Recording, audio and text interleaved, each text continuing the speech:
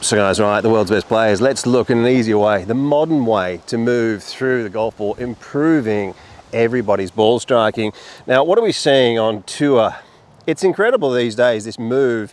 We covered this in a video earlier in the year and we got hundreds of thousands of views. Shift and lift, guys. Let's have a look at this. The shift and lift, that's what I call it, the shift and lift move, where we're seeing the modern day players shifting forwards with their legs but the lift move of the lead shoulder, right knee covers the golf ball, but a high left shoulder acting as a wall. So people shift and lift. Let's have a look at the world's best ball strikers are doing. And as I said, regardless of your age, the closer you get to these positions, the better you're going to hit the golf ball. Now let's have a look at this trail leg from Xander Schauffele here. What a ball striker, British Open champion. This guy is absolutely flushing it, closing up the gap of the right knee. And look how high he's able to get that lead shoulder. Now I'm not expecting everyone out there to be able to bend their body like that but I am expecting you to be able to shift across and get your left shoulder higher.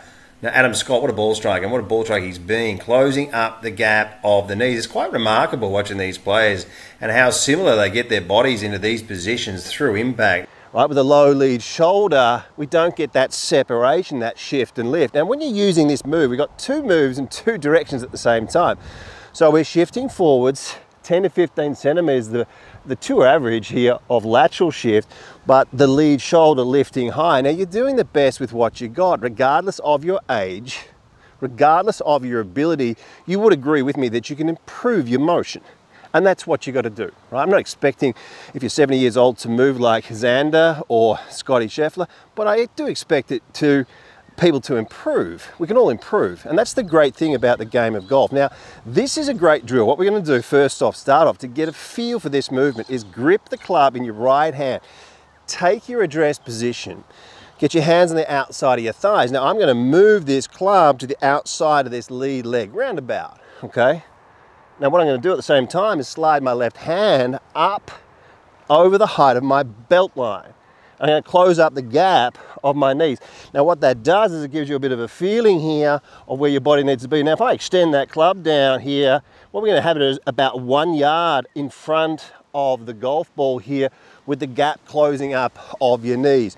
And this is a great little drill just to get a feel and then you can get pick up your golf club and then hit a shot. Now we've got what we call muscle retention. So when you make a movement or a series of movements here and then you hit a ball within a few seconds, they estimate we have around 60%, 70% feeling left over of that last movement. And just revert back there to really what you were feeling through the golf ball. Nice strike on that one guy. So I love that drill. That's something that I use. And sometimes even on the golf course, I'll stand there a couple of times in between shots and just feel that and just stay in positions. You can just stand in the position for a while. This static positional training, helping to fire that nervous system and program these movements so that we don't need to think as much. The next one I love is the opposite, right? Getting your hands on the outside of your left leg here, right there on the outside of your thighs, sliding up the left hand of your belt line and getting the left hand of the left hip and the right hand of the right knee. And it's, it's a difficult one in a way because we've got two movements moving in the opposite directions at the same time. We're shifting forwards, but lifting that lead shoulder. And if you can really get and push off that right foot, close up the gap, relocate as this is lifting, you're going to get yourself moving through the golf ball with the best bends that you can possibly get for your swing currently.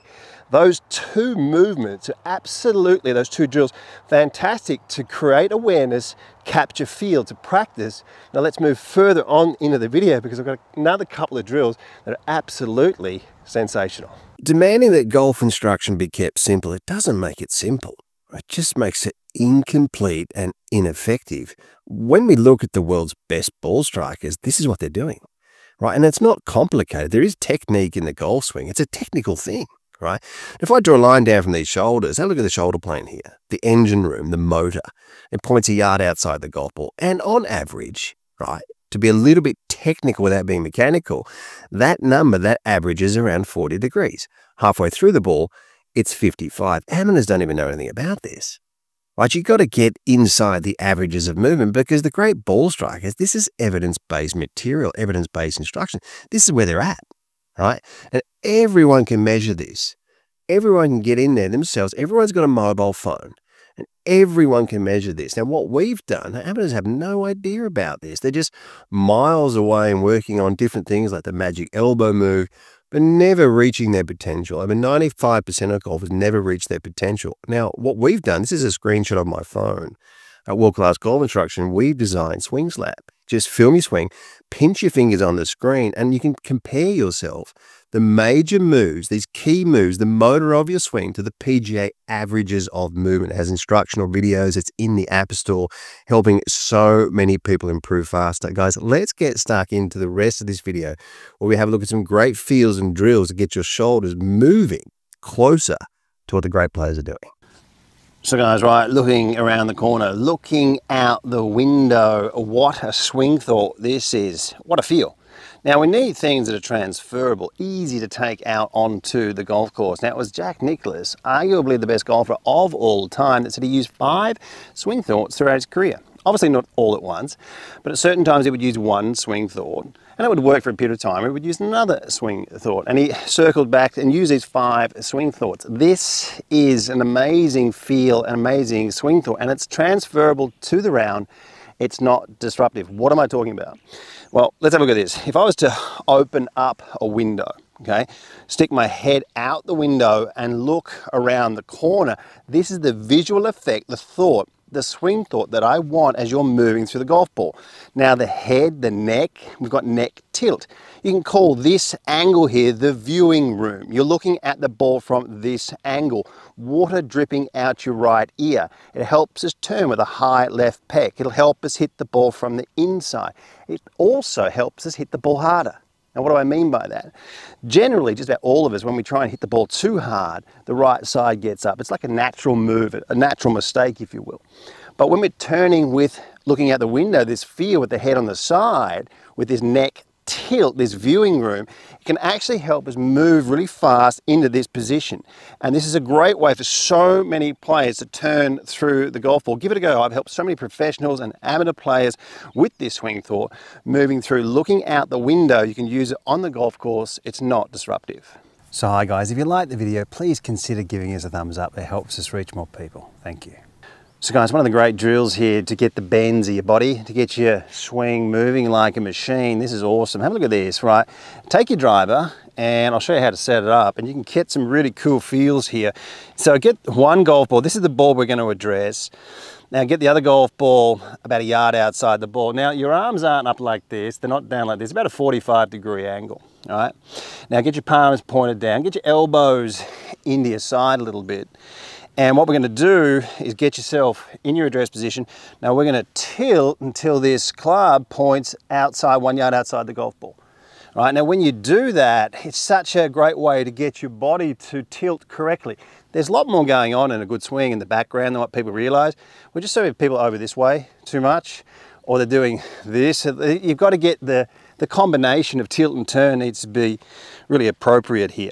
So this is a good way to feel the back swing and then you can sort of look down, do them slowly and feel your body turn. Now when you do it, that right shoulder's gonna move behind you. So when you don't see the shoulder, you've turned sufficiently. Okay, through the golf ball is where it gets interesting and you can see how flexible you are, but the closer you get to it, it's about a half a yard when your arms are about parallel to the ground. So when you move through the golf ball, when we get into here, we're gonna get more bend on the side. And this is a really interesting way to feel how you move through the ball. If you keep turning, it's really quite surprising how little strain is on your back. So if you, if you bend simply in this direction, you know, that's no good. But if we turn and tilt, you take a lot of pressure off your back, helps us move through the ball. This is a really free and powerful way to move through the golf ball here. Another great way to do it is just to get really create quite a bit of tilt and really turn through, keeping your knees together into a position here where we've got water dripping out the ear. Here's your viewing room. When you actually hit the shot, you're looking at the shot at the ball side on. Great way to plow through a ball and not hit it left. But a couple of interesting areas here, guys, and how to create certain bends and feels when you're practicing so we can improve and maintain our golf as we go. Voted Best Swing Analysis and Best Online Instruction by several independent surveys. World-class golf instruction is transforming thousands of golfers at every skill level. Do not miss out. This video platform has over 1,400 videos and 85 separate masterclass series.